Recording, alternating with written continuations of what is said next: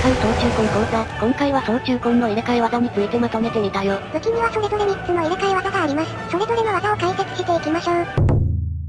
最初にご紹介するのは突進回転切り。合計8種類の総中根を生産、強化することで解放できます。スティック上と A ボタンで使用できる飛び込み切りとの入れ替え技です。抜刀攻撃も入れ替わります。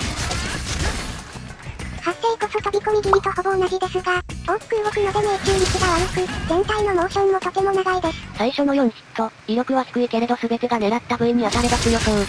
に見えるけれど、飛び込み切りの場合、突進回転切りをしている間に飛燕切りまで繋げられる。当然、突進回転切りの1回より、飛び込み切り、飛燕切りと繋げた連携の方が威力は高い。そもそも突進回転切りは飛燕切りに派生できない、モーションの長さに見合った威力をしているとは言えないよ。一言で簡単に説明しますと、単純な攻撃性能は飛び込み切りより劣る。ということですね。しかし利点もあります。強盗型幼虫を装備している場合、この技でも幼虫の追加攻撃が発生しますが、飛び込み切りよりも幼虫の威力が高めに設定されていて、フルヒットどころか、1発2発当てただけで飛び込み切りの幼虫の威力を上回りこの技の本領はそんなところではない。この技は突進中に無敵時間が存在する。その無敵時間とモンスターの攻撃判定が重なることで武闘跳躍、要するにジャンプをすることができる。つまり、攻撃を踏み台にジャンプして、回避して、こういう時かましドーン。こういうことができるわけだ。ワンテンポを高い人いい。クロスシリーズのエア回避のような使い方ができる。さらに、この跳躍は攻撃判定さえあれば何でもいいらしく、やり方次第ではブレスを踏み台にしたり方向を踏み台にしたりできる。純粋な攻撃性能では飛び込み切りより劣るのもあって、できたら嬉しい仕様というより、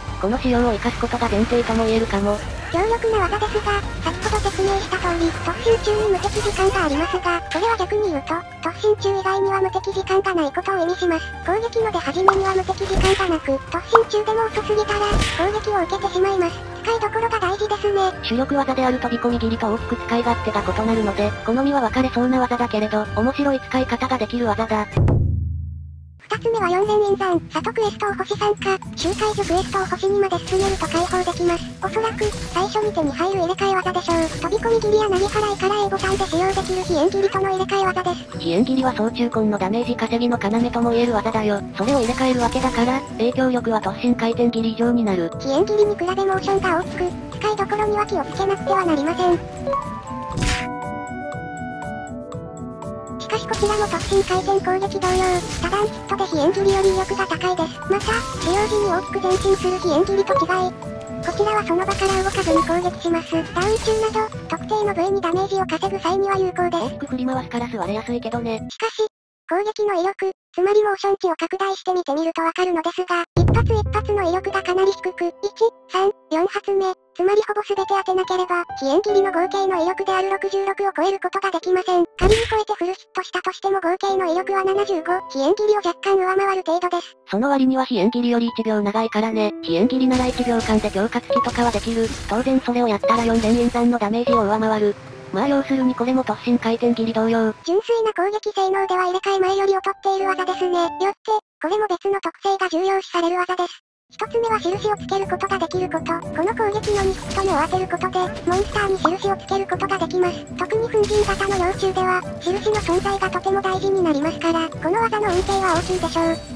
また、強盗型の幼虫の場合、幼虫の追加攻撃が発生しますが、この際の幼虫の威力が飛燕切りよりも非常に高く設定されており、フルヒットすれば、飛燕切り以上のダメージを出せます。お互いに装備なし、会心率例の武器で強盗型幼虫を使い、からくりの足を殴って比較してみるよ。先ほど説明した通り、上だけでのダメージなら飛燕切りの方が強い。しかしここに幼虫のダメージが加わるとどうなるか、合計ダメージを見ておいてほしい。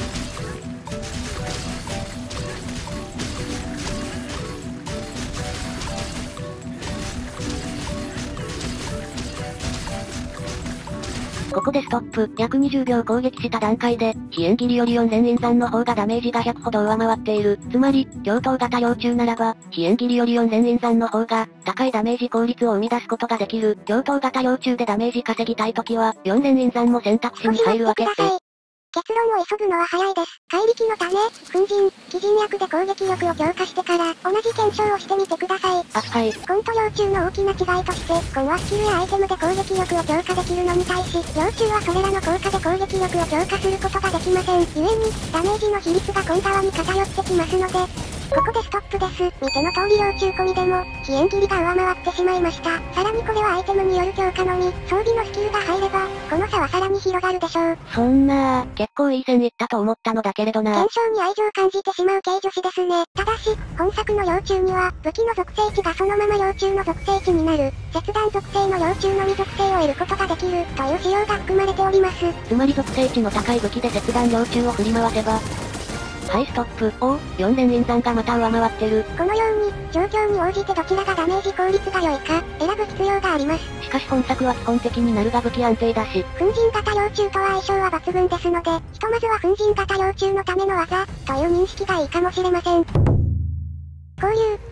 鉄柱主義、怪奇幼虫との入れ替え技です。集会所の星6にて、写し教官から依頼されるクエストをクリアすることで解放できます。この動画の視聴者の6割弱はこれ見に来てると思う。鉄柱主義では珍しく、空中でも使用することができ、地上と空中で若干ながら挙動が異なります。地上だとかけり虫で飛び上がった後に急降下をして突き刺す技。両頭型の幼虫を装備していると、追加のダメージが発生します。威力は高めですが、当たり判定がとても小さいのが特徴です。少しでも離れると当たらなくなってしまいます。ならばダウン中のモンスターに密着して、と思ったら、もがくモーションに押し出されてからぶってしまうことも多い。うまく当てるには技術とお祈りが必要だね。空中版は飛び上がるモーションがカットされ、突き刺すモーションのみとなります。空中から入るため、押し出される可能性も大きく下がる。あとは跳躍時に少し前進するし、空中回避などで位置取り調整もできる。当てやすさが段違いに違うから、基本的には空中で使う技と見ていいと思う。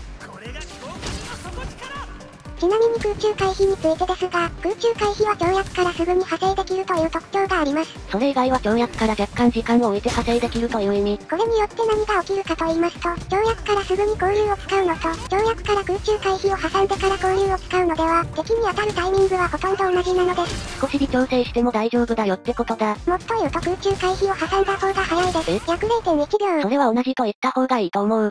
ちなみに地上で使うのと跳躍挟んでから使うのでは？地上で使う方が早いです。ああやっぱり地上の方が早かったか。ワンチャンスあると思ったのだけれどな。約0.1秒か2秒ほど。同じではないか。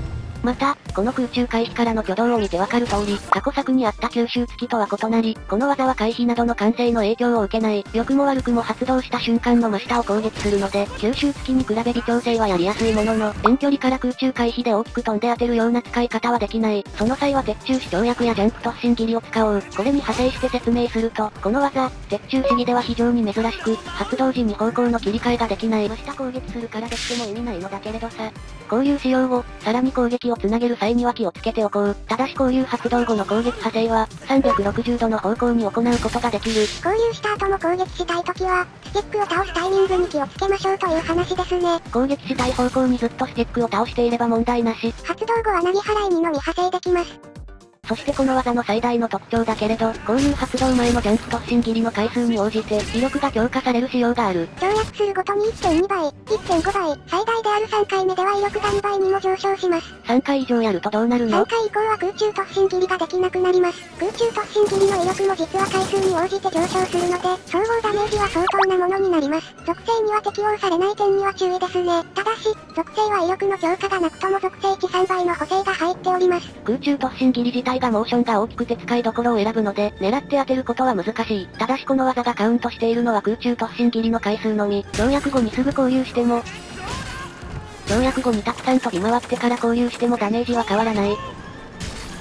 確実に狙っていくことが最優先だ。ここまで解説しておいてあれなのですが、この交流がカウントしているのは、厳密には空中突進切りの回数ではありません。え？この技はジャンプ突進切りの後で行う武闘跳躍の回数をカウントしています。これによって何が起きるかと言いますと、先ほど説明した突進回転切りを使った武闘跳躍、こちらの方法でも、交流の威力を上昇させることができます。もちろん、遠距離で突進回転切りの武闘跳躍を行い、そこから空中突進切りをしてから交流を行えば、武闘跳躍の回数は2回、交流の威力は1.5倍となります。この突進回転切りを使いこなせば、交流の威力を上昇しやすくなるでしょう。ただ気をつけなければならないのが、飛べば強い。というわけでもないこと、地上における基本連携である、投げ払いと非縁切りの連携のダメージと、威力上昇のない交流のダメージを比較したら、前者の方がダメージが高い。この連携のダメージを超えるためには、交流の威力を1.5倍まで引き上げる。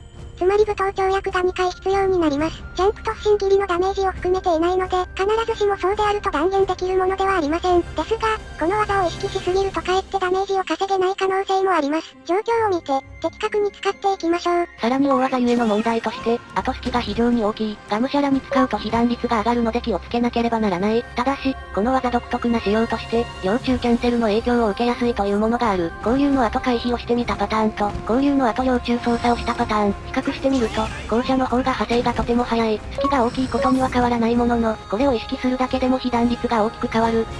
気がする。敵が大きいことには変わりませんからね。というわけで交流の解説でした。ありがとうございました。入れ替え技の解説でしたよね。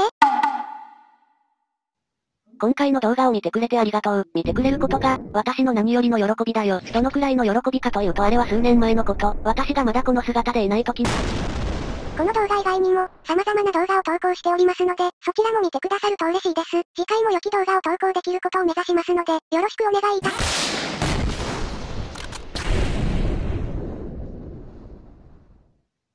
えっとどこまで話したっけ？あれ？もう全部話した？あ、はい。次回もお楽しみに。